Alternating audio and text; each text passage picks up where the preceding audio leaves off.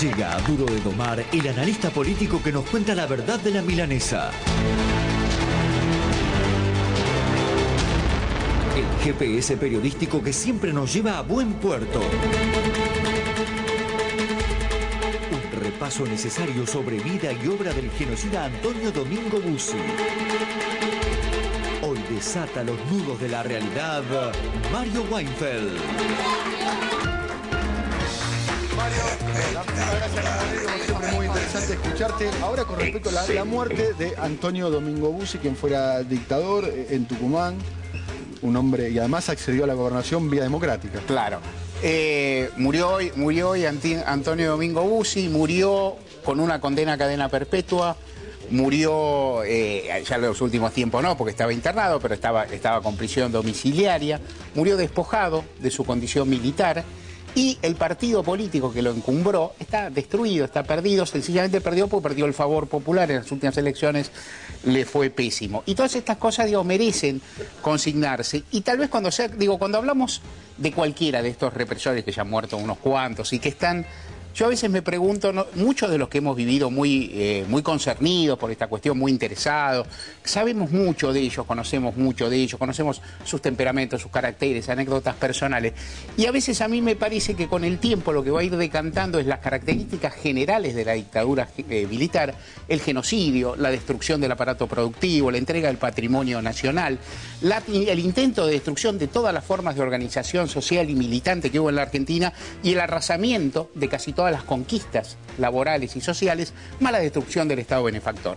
Y que las anécdotas, características personales de cada uno que tienen su importancia, obviamente, en la crónica, en la biografía y también en los juicios que se llevan, se irán diluyendo. O sea, por ahí por hacer una, una comparación que por ahí no es tan mala, pero puede parecer un poco traída, ¿a quién le importa a esta altura si Goebbels era más culto que Goering? ¿A quién le gustaba la pintura? Si Hitler era menos preparado que Himmler, si Rudolf Hess era o no era un psicópata. O sea, lo que queda de los regímenes, me parece, lo que va a ir quedando con el tiempo, no tal vez en mi generación y acaso tampoco en la tuya. En las futuras es lo que fue este régimen, lo que significó y no mucho más. Entonces uno tendría, me da la sensación, entonces uno tendría que apuntar, en el caso de Bussi como el de tantos, que uno podría contar una historia, hablar 14 horas. Claro. Eh, me parece que la característica más llamativa que tuvo Bussi la es la que vos señalaste. Bussi fue de los jerarcas de la dictadura el que llegó más alto en el periodo democrático. O sea, Bussi llegó a ser gobernador de Tucumán y ningún jerarca de ese nivel consiguió esa revalidación por el voto popular. Eh, iba a llegar a ser gobernador en 1991 y Carlos Menem ahí urdió la jugada de poner a Palito Ortega, una figura popularísima en Tucumán obviamente, como candidato y con eso le cerró el camino. Pero en realidad se lo tapó cuatro, fue, fue una maniobra astuta de Menem. Sí. Y en, en términos democráticos yo diría positiva, hay que decirlo, aunque uno por supuesto... Gran aporte de Palito Ortega, eh, evitando que Bussi. Claro, por eso, eso, eso significó. Pero en el año 95 Bussi llegó y en el 99 su hijo Ricardo perdió la elección por un pelito. A esa altura, y, y en el 95, en el 95, una elección rara. Y en el 90, y en el 95, digamos, Bussi estaba en el cenit de su carrera, si uno quiere. Era un represor, pero estaba impune. Tenía, todo, tenía todo, toda, toda la persecución penal cercenada por las leyes de la impunidad y era un señor gobernador. Cuando digo señor gobernador, digo un gobernador que me guste a mí, digo un gobernador democrático, elegido con su pueblo, con todas las credenciales. Una afrenta en la historia argentina, que tremendo genocida haya llegado gobernador, pero llegó. Y en el lapso de 16 años Bussi termina como terminó hoy. Y ese lapso, Daniel, puede parecer largo en las vidas personales, pero tal vez en la historia no es tanto. Si uno piensa lo que pasó en la Argentina, el momento que Bussi fue ungido gobernador, y ojo que después fue diputado nacional, y que antes había sido convencional constituyente, y que ganó ocho elecciones en Tucumán, ese hombre que llegó a tanta, a tanta convalidación social y popular, muere como un paria no solo en términos de que es un genocida condenado, sino que también su proyecto político se diluye. Y esto habla, su figura habla, me parece, en términos simbólicos, es este proceso democrático. Con tal vez el, el episodio más espantoso de convalidación de un dictador, porque Bussi fue un dictador en Tucumán. Videla no llegó a tanto. Macera, no, Macera, que quería ser presidente, no llegó a esas cumbres. Hubo un par de partidos procesistas que ganaron elecciones en algunas provincias gobernador. Huyó en Salta, ¿no? Sí, huyó en Salta. En Chaco ganó el partido de Ruiz Palacios, que no Ruiz Palacios de cualquier forma no eran jerarcas tan importantes como Bussi. De los grandes... Bussi estuvo muy involucrado en la represión. Él. Claro, y aparte era gobernador. Claro. O sea, una figura del calibre de Bussi, ninguno llegó tan alto. Él, él consiguió con votos más que Macera, más que Videla, más que cualquiera. Y en 16 años todo eso se derrumbó por imperio del discurrir de la democracia.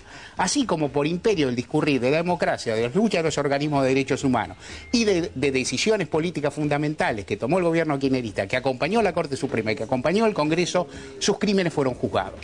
Es decir, él tiene una condena y en realidad su enfermedad de los últimos años impidió que tuviera más.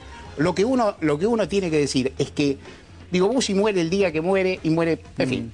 La muerte es, un episodio que escapa a la voluntad, a voluntad de todos los humanos. Lo que uno puede felicitarse es del contexto en el que muere Bussi. Un contexto en el que todo lo hizo todo lo que hizo ha sido desautorizado por la sociedad argentina y por las instituciones argentinas y aún por el pueblo de su provincia.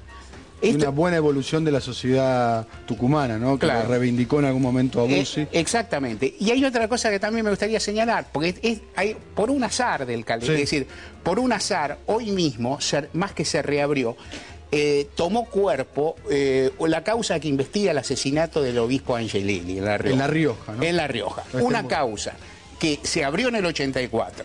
En el 85 se cerró por obediencia de vida y punto final se reavivó en democracia lentamente, no se conseguían pruebas, nadie hacía mucho, menos que nadie la jerarquía de la Iglesia Católica, que nunca tomó el, homicidio de Angelelli como homicidio y a, su, y a su obispo como una víctima, y ahora, hoy, se, hoy, hoy la causa se reanima, se procesan determinadas personas, inclusive Luciano Benjamín Menéndez, entre otros. Videla. Y, y, la causa se pone, se pone en movimiento. Y uno dice, ¿cómo, ¿por qué ocurre esto? ¿Cuándo ocurre esto? En un determinado contexto político.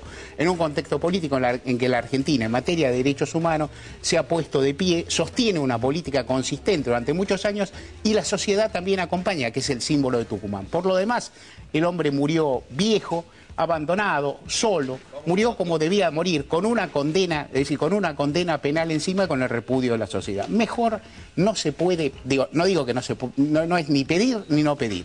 Es justo y es valorable que en la Argentina, y vale la comparación con los países hermanos y vecinos, el proceso de verdad y justicia avance como está avanzando. Muchas gracias, Mario. Como siempre, muy interesante. Nos volvemos a ver el próximo lunes. Muy peor escucharlo a Mario Weinfeld.